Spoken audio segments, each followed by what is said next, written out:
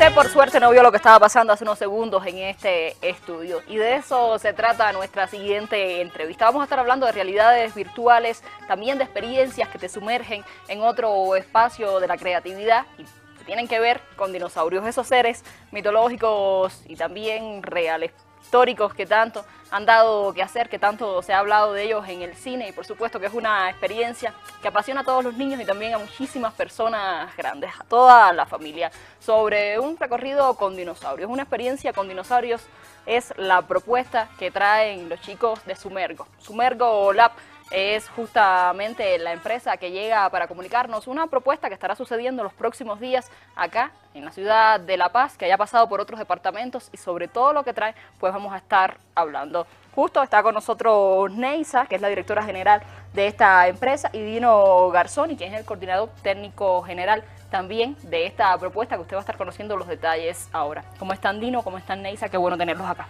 Muchísimas gracias, buenas noches. Hola, buenas noches, gracias. Yo sé que se están riendo porque justo yo me estaba probando acá para vivir la experiencia de lo que es la realidad virtual y que es precisamente el kit de la propuesta que traen ya y que llega a La Paz. Exactamente. Eh, con ese evento que se desarrollará este fin de semana, sábado y domingo, eh, estamos eh, trayendo una experiencia inmersiva. Es una exhibición de realidad virtual y realidad aumentada que, tiene como tema principal los dinosaurios, justamente. Paseo con dinosaurios es el título. Entonces las personas, el público, de niños hasta mayores, tendrán la posibilidad de hacer como tú estabas haciendo hace poco, de viajar al pasado con esos visores en una reconstrucción en 3D de la, de la prehistoria boliviana y poder encontrar los dinosaurios que la habitaban. Entonces un paseo en la selva, eh, una simulación de la realidad de cómo era hace millones de años.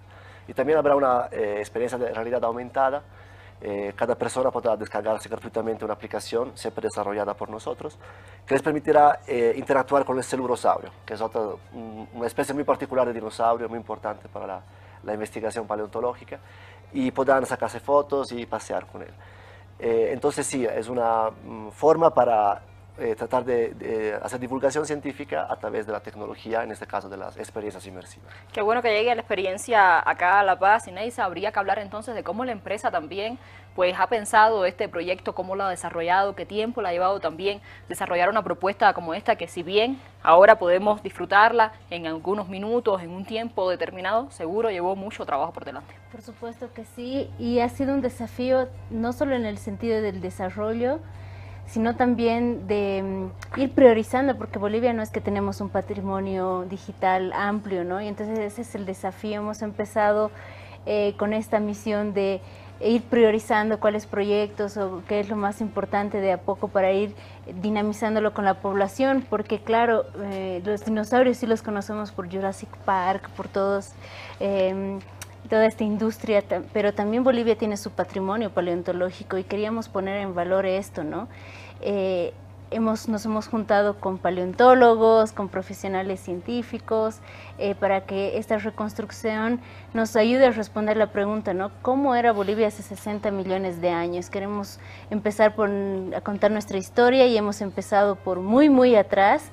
Eh, esta exhibición también tiene que ver con eh, generar espacios de reflexión sobre nuestra relación con el planeta Tierra. Ahora, en un momento fueron los dinosaurios que habitaron este planeta, ahora estamos nosotros aquí, es nuestra casa, cómo nos relacionamos con este entorno también, con nuestra casita, el planeta Tierra. Entonces, en nuestra búsqueda tiene que ver con cómo hacemos que la tecnología nos permita conocer más de nosotros mismos de alguna manera, ¿no? ¿Qué patrimonio tenemos? ¿Cómo nos relacionamos también eh, con la educación, con la ciencia? Y mm, este trabajo nos ha representado aproximadamente, de tiempo duro de producción son seis meses, pero a nivel, claro, de estado mental de producción son más de cinco años de investigación y demás, eh, no solo al nivel paleontológico, sino cómo hacemos para que la tecnología nos acerque eh, a nuestro patrimonio, ¿no? ese es el desafío de la educación, hablar en los códigos que ahora lo hacen los niños, los jóvenes, el mundo que se viene ahora tan digital. Queremos también que la gente que quiera conocer sobre Bolivia, sobre nuestra historia, tenga los recursos y los mecanismos para hacerlo. Hemos empezado con paseo con dinosaurios, se ha hecho realidad después de cinco años más o menos de diseñarla, de producirla y queremos compartir ahora este trabajo con, con, las personas. ¿no? Hemos formado un equipo maravilloso, interdisciplinar, que esa, es, que esa es la riqueza de la cultura también, poner a trabajar programadores, junto con animadores, con paleontólogos, con diseñadores, con nosotros que estamos en el sector cultural y ese es el trabajo que queremos entregar a la población. Un trabajo que ya se ha podido contratar en otros departamentos y habría que hablar entonces de la experiencia que ya traen para presentarlo ahora en La Paz. Sí, claramente. Eh, hemos ya llevado esa, esa, experiencia, paseo con dinosaurios en Cochabamba y Santa Cruz. En ambos casos eh, realmente superó nuestra expectativa el, el, flujo de público y las personas, la curiosidad más que todo que demostró las personas, demostraron las personas. Entonces, eh, por eso estamos queriendo ahora, eh, hemos querido, desde el principio queríamos llevarlo a La Paz, ahora por fin hemos logrado organizar.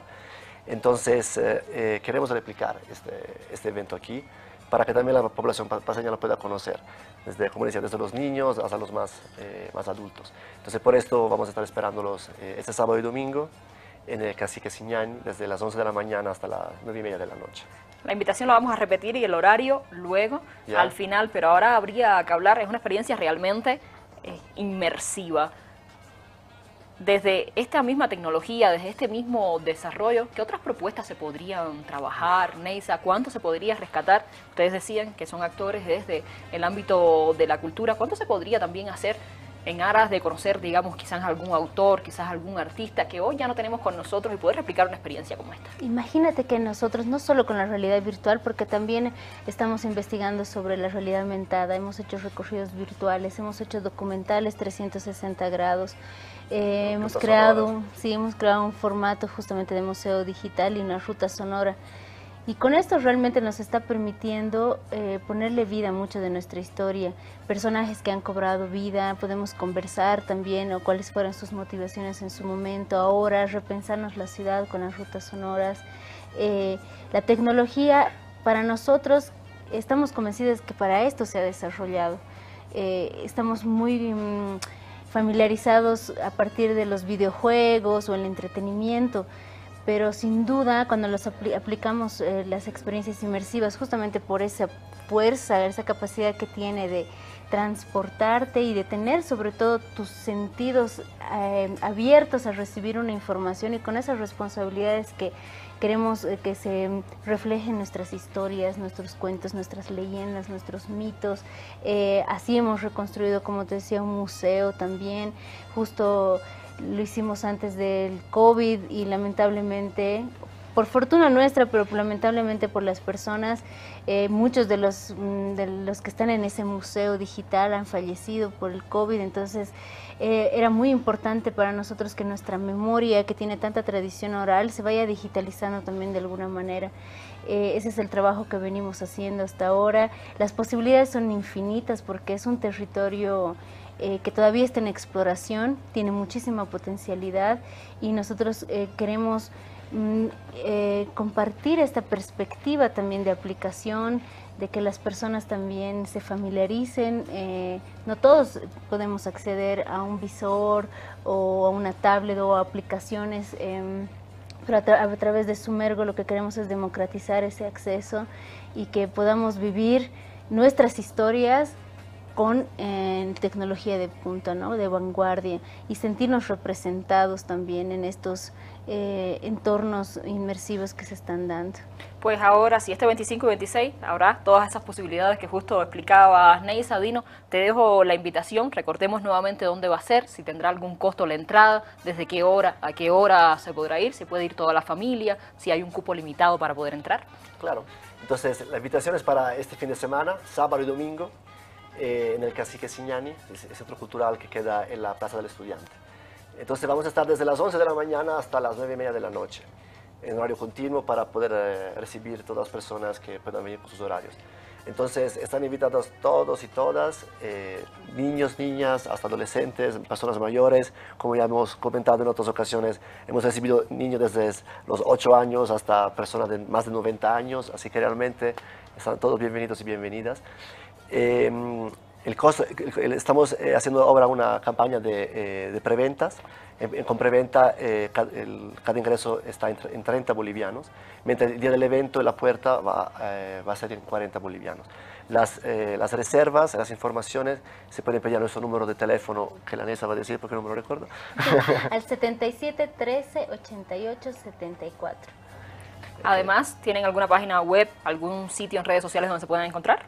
Claro, tenemos nuestra página web, que es sumergolab.com, en nuestra página Facebook, siempre como Sumergolab, con dos M. Eh, en Instagram pueden encontrar todas las actualizaciones sobre ese evento y las demás actividades que estamos realizando. También pueden contactarnos a través de la página Facebook o Instagram. Pues justo con esta invitación nos quedamos. Les agradezco, Neisa, Dino. Posiblemente estaremos pasando entonces para disfrutar con amplitud esta propuesta y que tengan una linda noche. Muchísimas gracias, les esperamos. Bienvenida, te esperamos en la exhibición junto a todos los curiosos y curiosas de nuestra paleontología. Pues justo así será.